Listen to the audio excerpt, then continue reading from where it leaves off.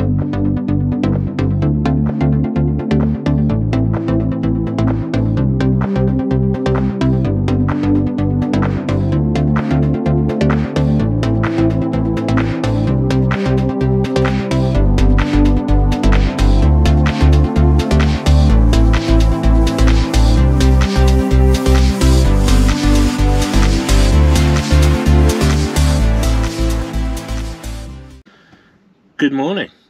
welcome to another video. Uh, this one I'm replacing a broken TV aerial.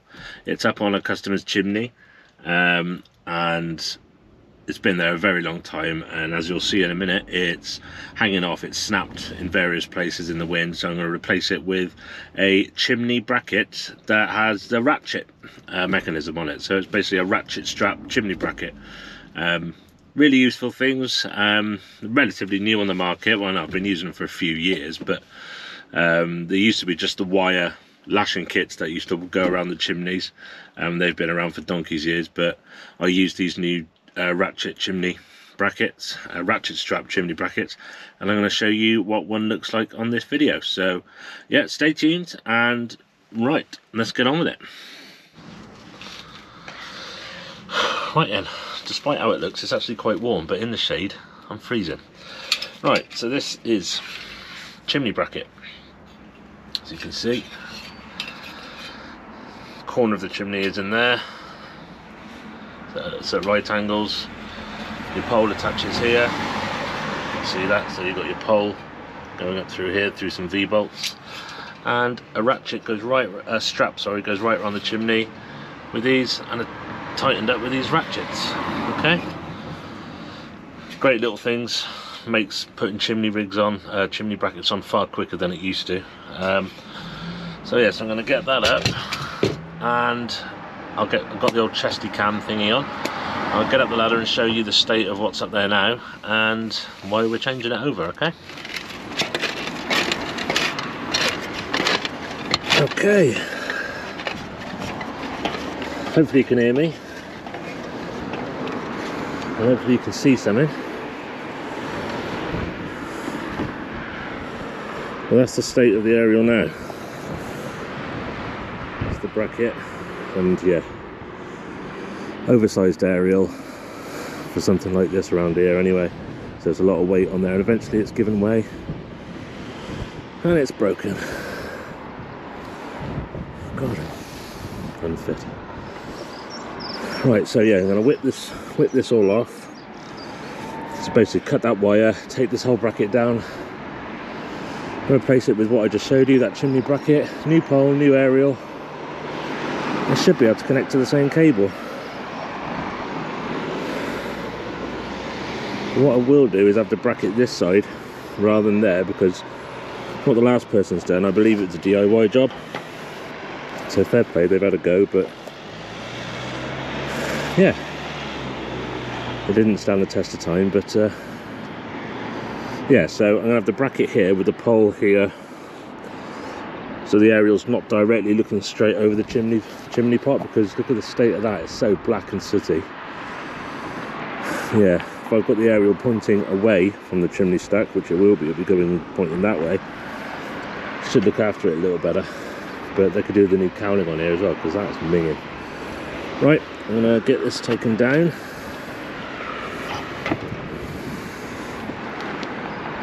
I'm gonna get plastered in soot and stuff, aren't I?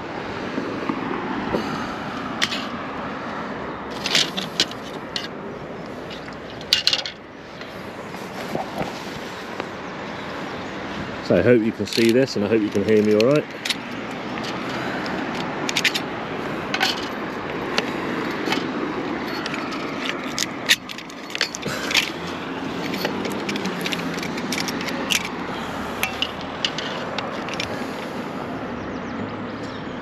there's nothing wrong with that cable. A sooty on the outside, but you know, a bit black, but functionally, it's fine. Right, so this wire that goes around it, I'm just going to chop, cut that, and take it all down. Sometimes you lose these uh, little corner protectors, they roll down the roof, but It'll be fine if it does. Don't, don't weigh anything. There's a little flat roof down there. So I'm going to hold with my right hand. I'm going to hold this aerial. You see. I'm going to hold the aerial here, obviously, because when I cut it, it's going to want to go. So here we go. Yeah.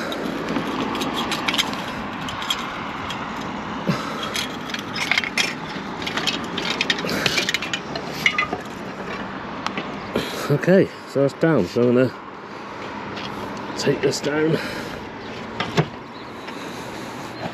While we're up here, look at that view.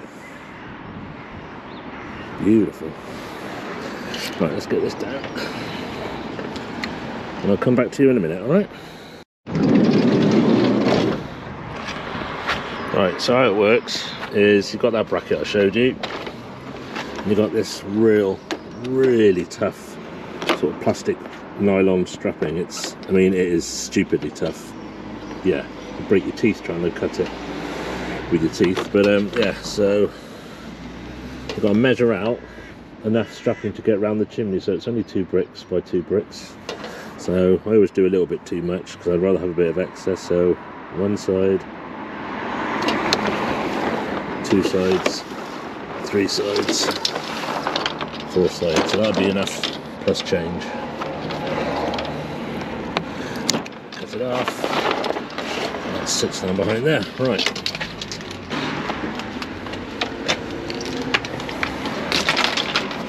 So now you take your strap in, make a little fold in it, like so.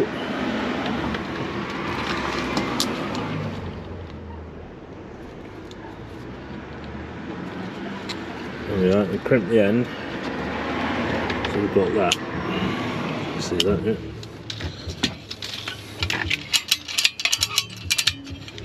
I feed it through one of those. I don't know what you want to call them.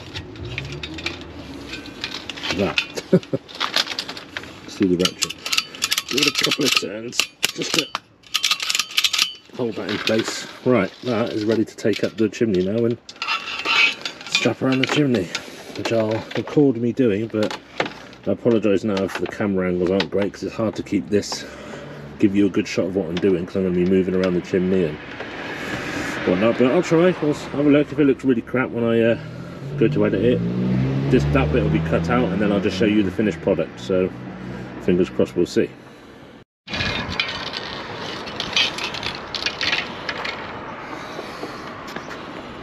Okay. So like I said, I hope you can see what I'm doing and hope you can hear me. Oh, ladies in the garden now, so I might not do much talking, otherwise I look. Lovely day. it is.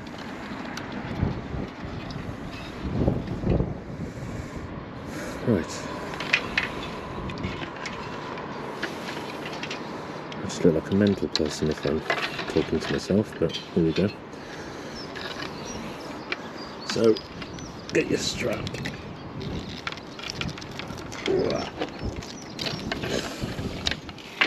Around the chimney. Yeah, I've done way too much here. I do it every time. Are many installers out there might think, oh my god, what are you doing?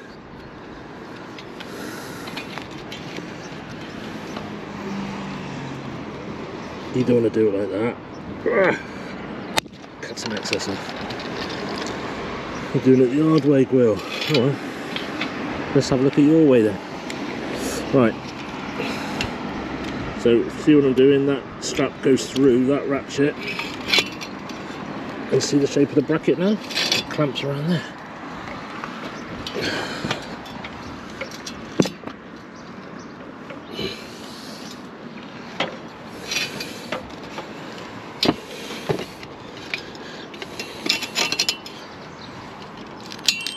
strap going round a brick, not round a join, round a brick part, okay?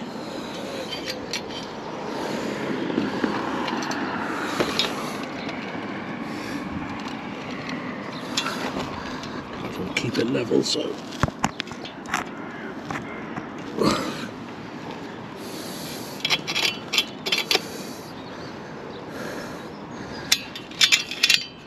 and start tightening it up slightly.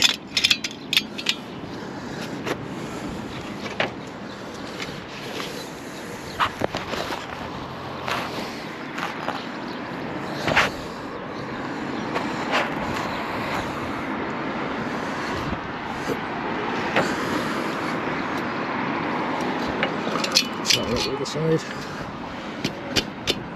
Make sure the strap's nice and straight just so it looks tidier. There we are, look. If you can see that. Start tying it up.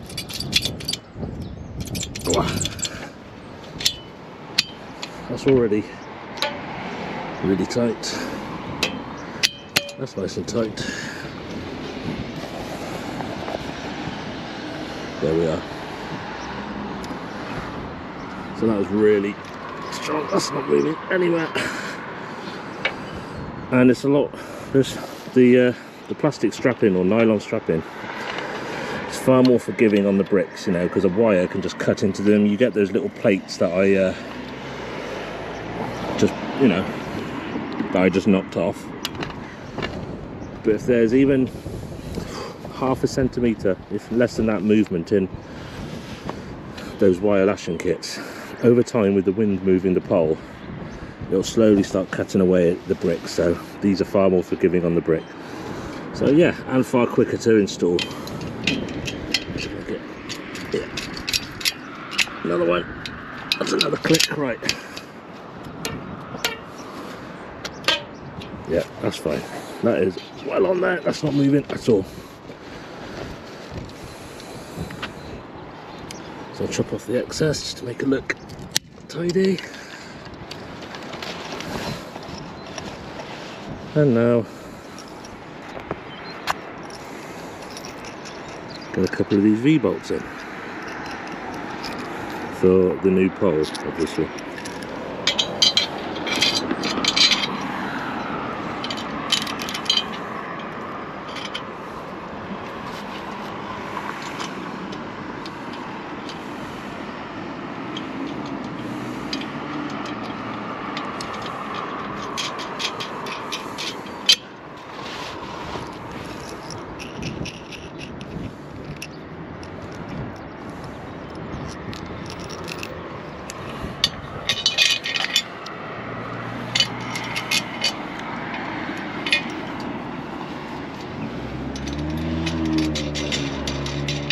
There we are, that is ready for the pole.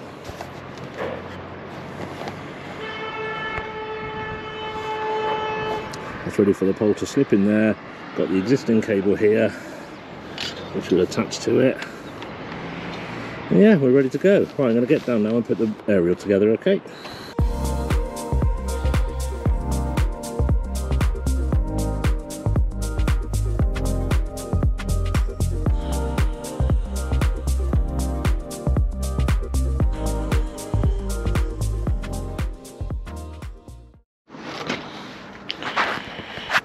Right, okay, so as you can see, after that time-lapse video, the aerial I always use, a six foot pole, ready to be attached to that new bracket.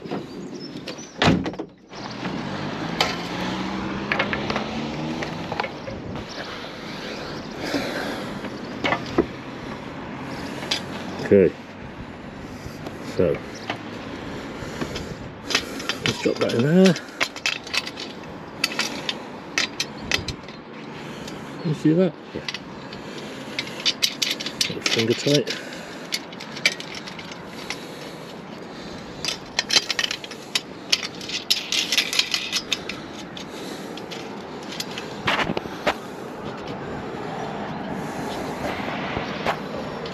Trying to get the right camera angle, right.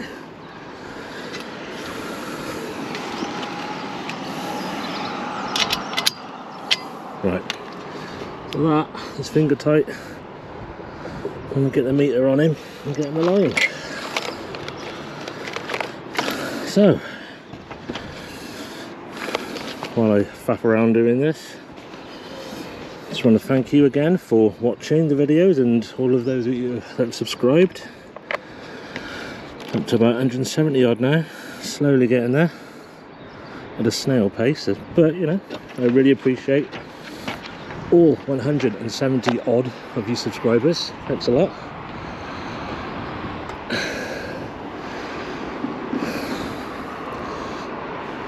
Try and get some more content out now the uh, the weather's changing, the lights. Yeah, um, what, I, what am I trying to say? The clocks go forward this coming Sunday, yeah, so more time in the day, more daylight hours to get work done. I'm not so rushed so I can get more videos. So, right, okay, so, well, so I'm just aligning this aerial. Don't know if you can see that, can you?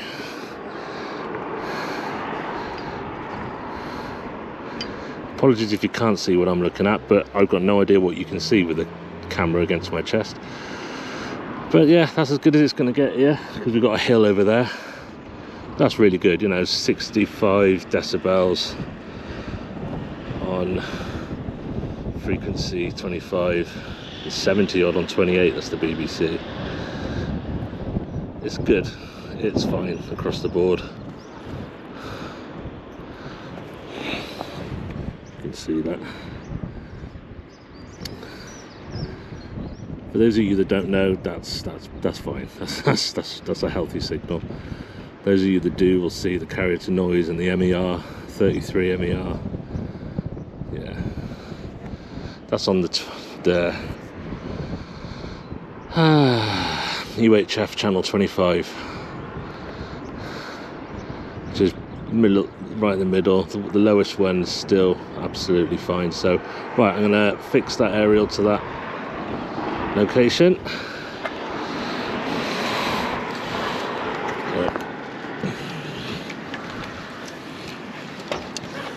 So yeah what I mean is I'm gonna tighten up the bolts on here now make sure it's all straight there.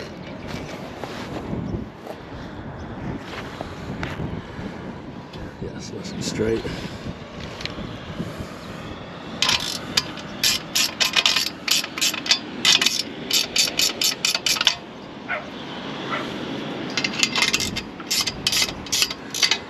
when tightening don't just do loads of turns on the one side of the bolt because it does twist the it does twist the pole slightly and you can lose your alignment. But that's nice and straight that's sturdy. If you remember what it looked like before this is a heck of an improvement. So often I run new cable. It's some say it's good practice too. Yes of course it is. But if you want to try and run every run new cable in every single rig then that's your that's, that's your choice. If I can see the cable is absolutely fine for where I am there's no water damage. I don't all the time. It depends what the customer wants and what's what's required isn't it?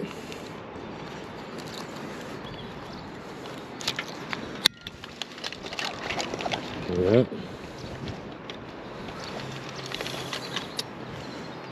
Out my blooming pocket. Going back to what I was saying before, yeah, I appreciate all you subscribers. And uh, yeah, there'll be a lot more content coming out. Now, try and get some different content in, I will. A lot of people ask me for satellite satellite videos. Well, I'll be honest with you, I don't get much call for it apart from FreeSat and that's quite few and far between. I don't really deal with European satellites, I have a few, couple of phone calls a year, but because I've never really been asked for it, I've never really taken an interest in pushing it, you know. And so I won't be doing much satellite work, just the odd FreeSat install or repairing an existing dish, you know. I don't. I'm happier doing more TV aerial work because I get more jobs done in a day and it's it's just better for me. But there'll be more CCTV work and certainly certainly more electrical work because yeah, that's that's getting busier now. And I've got a friend of mine who comes in with me on the bigger jobs. So yeah, so there'll be more of that. Right, that's a lovely day. Let's get this taped up now. So I'm going to turn it off here. The aerial is up. I'm going to tape the cable down this pole and then I'll basically take a photo and uh, get down and show you what it looks like from the ground, okay? Okay, there you go. That's it, so you can see the difference. Much better bracket, new aerial and pole, and that's correctly aligned, and the existing cable's going into the loft. I'm going to go and test the signals inside now because I've got clean signals out here, but for all I know it's going through an old amplifier, but should be fine, but we'll have a look. But either way, that's that's enough for this video, okay? Okay, right, that's it. Um, just a short video uh, showing a, uh, a ratchet chimney bracket and uh, how they're used and how I installed them. Um, yeah, good pieces of kit. I tested the signals inside the house and it's fine. It's not going through any booster at all. It's uh, that's, that's all we need to do. So, right, yeah, thanks for watching. I hope it was helpful and yeah, see you on the next one. Cheers.